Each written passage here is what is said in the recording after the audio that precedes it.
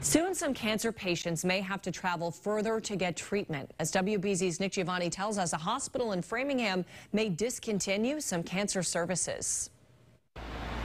Metro West Medical Center's Framingham Union campus is the subject of a public hearing set to be hosted by the Department of Public Health in Framingham Wednesday night.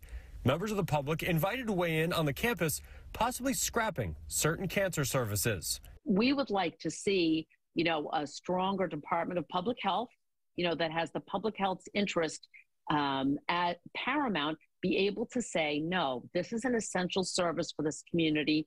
You will not be closing it. DPH received a 90 day notice back in May from the CEO of Metro West Medical Center documenting the proposed closure of oncology infusion and radiation oncology services at the Framingham Union campus.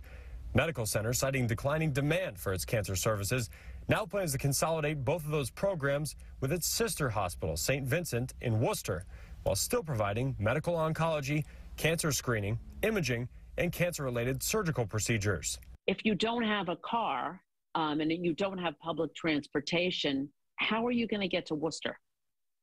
to get to get your care. Katie Murphy, the president of the Massachusetts Nurses Association, says she's lived in Framingham for almost 40 years and plans to speak at tonight's public hearing.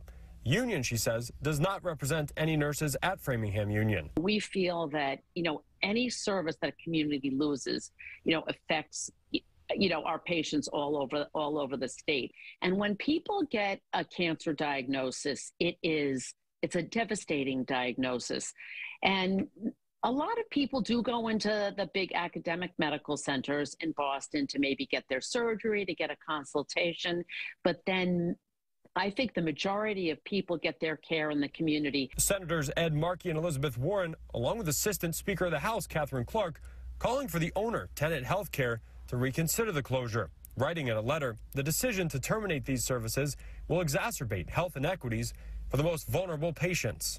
Tonight's public hearing is scheduled to start at 6 o'clock in Nevins Hall, and you can call in to comment as well. Reporting from Framingham, Nick Giovanni, WBZ News.